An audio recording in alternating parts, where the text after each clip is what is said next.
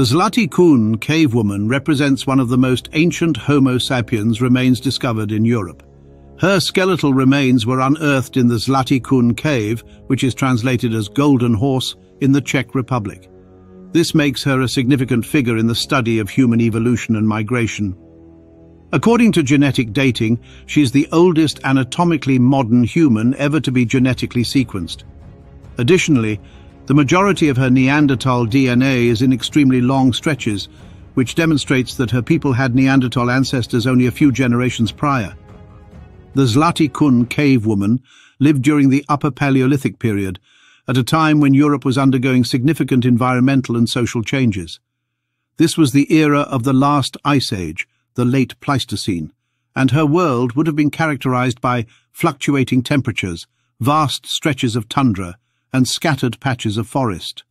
Her people, small bands of hunter-gatherers, moved through the landscape in search of food.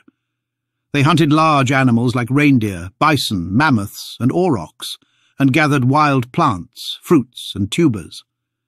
The cave itself may have served as temporary shelter for her people or a sacred burial place. While much of her real life is lost to time, but here is what we know of her world. Thousands of years ago, in a world far removed from ours, the lands of Central Europe were teeming with life. Massive glaciers sat upon the northern horizon, keeping the climate cool, but the valleys and plains still thrived. It was here, in the shadow of great forests and along the banks of winding rivers, that she was born into a small nomadic tribe of hunter-gatherers. Their tribe was part of a larger network of modern human families spread across the region, setting up camp near rivers where fish were plentiful. The Zlatý kůň cave woman was part of the early Homo sapiens who coexisted and interacted with the last remnants of Neanderthals in Europe early Homo sapiens and Neanderthals interbred, as evidenced by genetic findings in her DNA.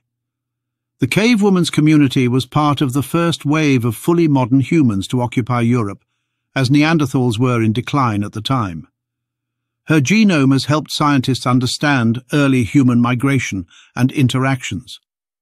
As one of Europe's first known modern humans, her life and genetic legacy shed light on how our species adapted to new environments and survived in the harsh landscapes of Ice Age Europe.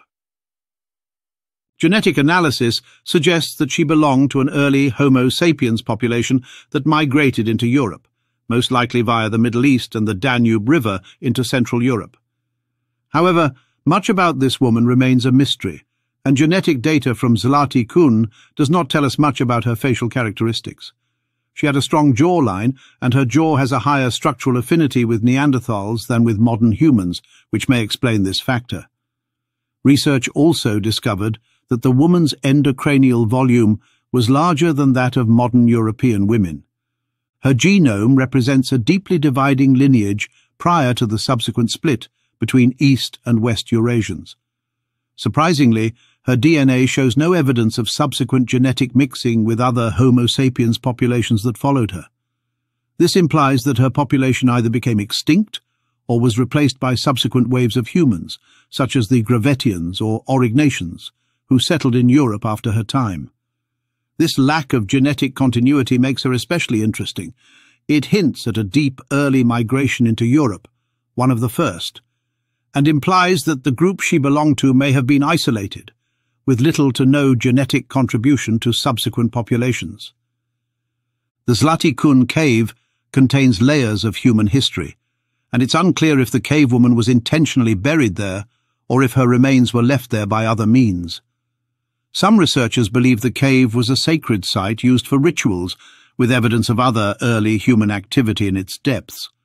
Her bones were relatively well preserved, indicating that the conditions inside the cave helped protect them from the elements and scavengers. The lack of significant artifacts or grave goods around her skeleton makes it difficult to determine whether she was buried with ceremonial rites. But her placement in the cave suggests that her people saw it as a significant location. Indeed, the Zlatý kůň cave woman provides a critical snapshot of human history offering a glimpse into the first modern humans who entered Europe. Her genome has helped researchers understand how Homo sapiens spread around the world and interacted with other hominin species, including Neanderthals. The groundbreaking study revealed that her DNA has more Neanderthal ancestry than almost any other known modern human, with some segments of her genome containing more than 3 to 4% Neanderthal DNA. This suggests that her ancestors interbred with Neanderthals shortly before her birth, possibly within a few generations. In fact, her group's closer genetic proximity to Neanderthals than to later Homo sapiens suggests that they arrived in Europe relatively recently, following contact with Neanderthal populations. Her people would have been closer in appearance to Neanderthals than to modern Europeans. Her remains call into question the notion of a single, continuous migration into Europe. Instead, her genome paints a more nuanced picture of early human migrations, in which some groups, such as hers, arrived early but did not survive or integrate into the larger gene pool that defines modern Europeans. Whatever the case, early Eurasian populations may have interbred with Neanderthals between 50,000 and 60,000 years ago, during their initial expansion in the Middle East. Early Eurasian genomes contain 2 to 9% Neanderthal ancestry. These early modern humans lived alongside Neanderthals in Europe for approximately 5,000 years. Further DNA analysis revealed that her genome contained approximately 3% Neanderthal ancestry, and that she belonged to an early modern human population that most likely mated with Neanderthals. As stated, this DNA was in long unbroken stretches, implying that the interbreeding was fairly recent in her family tree.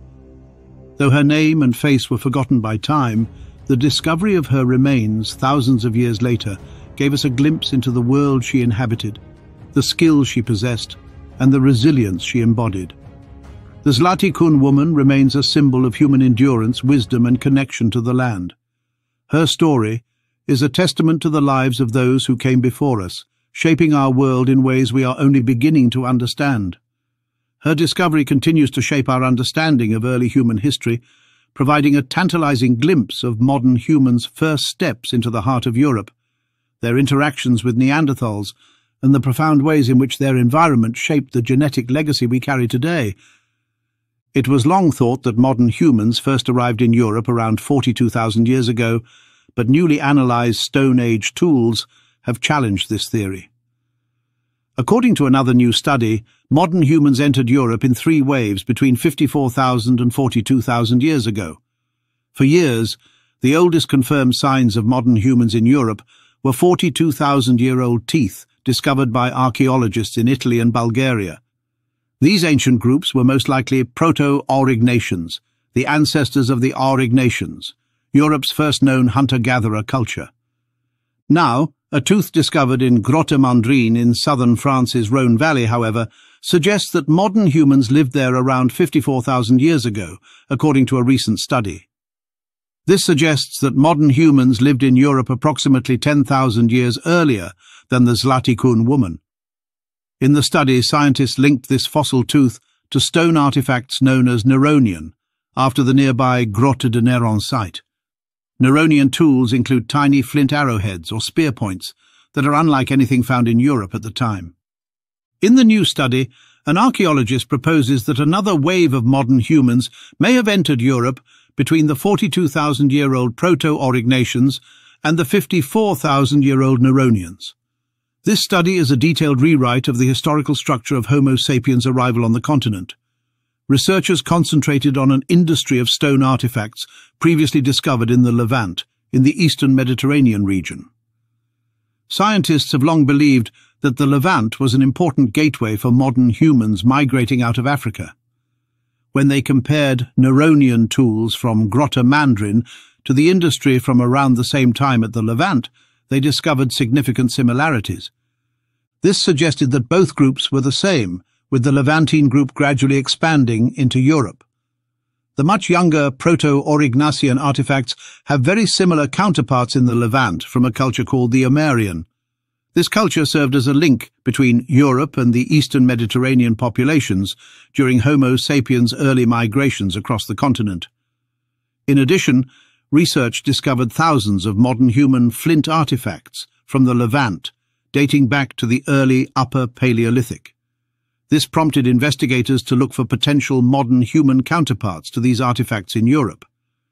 They found that stone artifacts from the so-called Châtelperronian European industry are strikingly similar to modern human artifacts discovered in the Levant's early Upper Paleolithic period.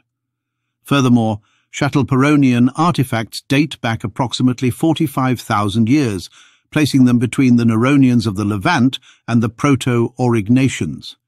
Scientists had previously assumed Châtelperronians were Neanderthals. However, these researchers now believe the Châtelperronians were a second wave of modern humans into Europe. This new model for modern human settlement in Europe is ambitious and provocative. For a long time, evidence has accumulated that there were several early dispersals of Homo sapiens into Europe prior to the well-documented Aurignacian-associated migration around 42,000 years ago. Modern humans first appeared in Europe at least 45,000 years ago, but the extent of their interactions with Neanderthals, who vanished around 40,000 years ago, and their relationship to the broader expansion of modern humans, unclear. The international team of researchers sequenced the genomes of Europe's oldest securely dated modern humans, who lived around 45,000 years ago in Bacho Kiro Cave, Bulgaria. By comparing their genomes to those of people who lived later in Europe and Asia, the researchers demonstrated that this early human group in Europe contributed genes to later people, particularly modern East Asians. Furthermore, researchers discover that all three individuals had Neanderthal ancestors a few generations back in their family tree, confirming that the first European modern humans mixed with Neanderthals and implying that such mixing was widespread. Indeed, the researchers also discovered large stretches of Neanderthal DNA in the genomes of the Bacho Kiro cave people, indicating that they had Neanderthal ancestors only about five to seven generations ago. This implies that mixing with Neanderthals was the norm rather than the exception when the first modern humans arrived in Europe. The oldest individuals discovered in the cave were directly radiocarbon dated to between 43,000 and 46,000 years ago. The earliest inhabitants of Bacho Kiro Cave lived when Neanderthals were still present. The researchers scanned their genomes for fragments of Neanderthal DNA. Researchers discovered that the Bacho Kiro cave individuals had more Neanderthal ancestry than nearly all other early modern humans, with the exception of a 40,000-year-old individual from Romania. In this case as well, the majority of this Neanderthal DNA is in extremely long stretches. This demonstrates that these people had Neanderthal ancestors only five to seven generations ago in their family trees.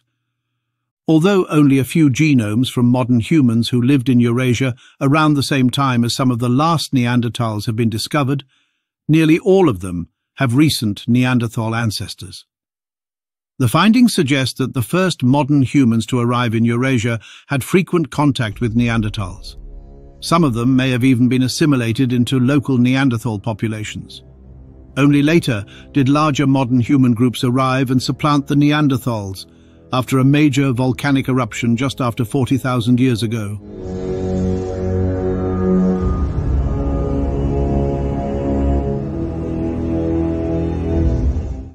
Until next time, Stay curious and stay questioning. Also, please subscribe, share, and check out our channel's other highly compelling videos. Thank you and take care.